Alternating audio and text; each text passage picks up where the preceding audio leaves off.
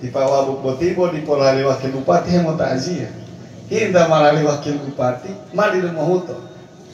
Sepanjang tidak ada tugas yang tidak bisa ditinggalkan, insya Allah saya bersedia dan bebas sedekah. Mau dia mah potua karaja uti. Dua proses kematian dan kehidupan alladzi khalaqal mauta yang menciptakan kematian karena sebelum hidup kita mati dulu.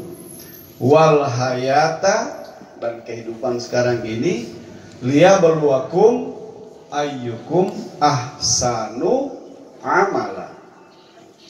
Kata kunci yang pertama adalah mati dan hidup. Kaifa takfuruna billahi wa kuntum amwat. Sama. Lalu fa ahyakum summa yumitukum summa yuhyikum nah di ayat ini dua kali mati dua kali hidup. Yaitu kematian sebelumnya kita ada lalu hidup lalu dimatikan lalu dihidupkan kembali. Kalau di Al-Mulk ayat 1 ini menegaskan bahwa proses penciptaan kematian dan kehidupan itu tidak lain hanya untuk menguji siapa di antara kamu yang paling baik amalnya. Ahsanu amala, bukan paling banyak. Tapi paling ahsan itu.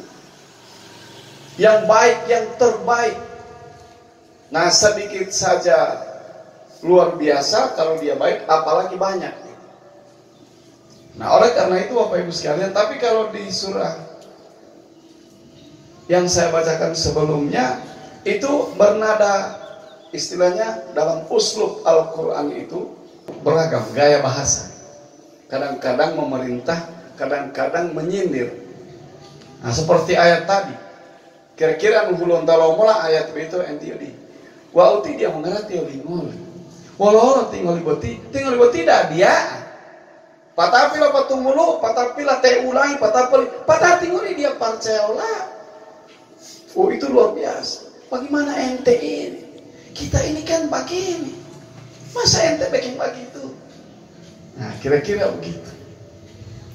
Nah karena itu kata-kata ahsan kalau kita terjemahkan lebih luas dalam kehidupan ini sejalan dengan surah Az-Zariyat ayat 56 wa ma khalaqtul jinna wal insa illa liya'budun.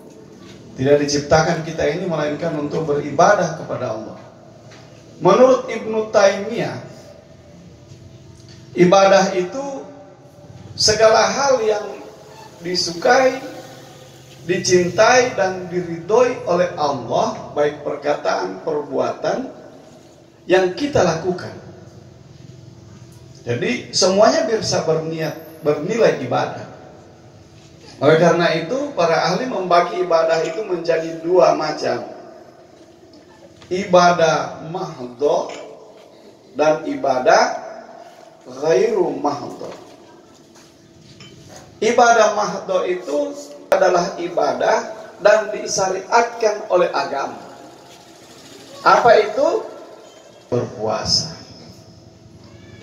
kita membayar zakat, kita sholat, haji dan seluruh perintah-perintah agama yang berdasar pada dalil Quran atau dalil hadis, tetapi ada jenis yang kedua, yaitu yang disebut dengan ibadah ghairu mahdhur. Yang mana itu? Perbuatan atau perkataan yang dasarnya bukan ibadah tetapi bisa menjadi ibadah walau itu malik kepala desa. Malik bendahara atau kesbah.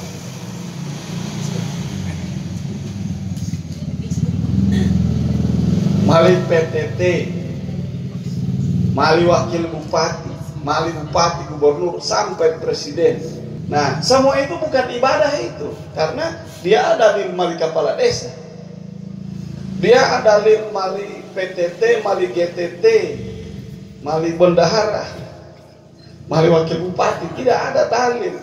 Tapi dalam perjalanannya dia menjadi ibadah kalau diniatkan itu catatannya. Kalau diniatkan sebagai pengabdian kepada Allah. Karena itu marilah kita menjadikan seluruh aktivitas kita menjadi bernilai ibadah